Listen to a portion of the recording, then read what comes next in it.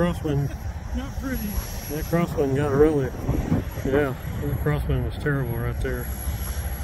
Yeah. Right there at the last second, we had a gust come up. A while ago, we had a vortex rotating 360 a while ago. Man, it blew, well, it blew them uh, pilot things over.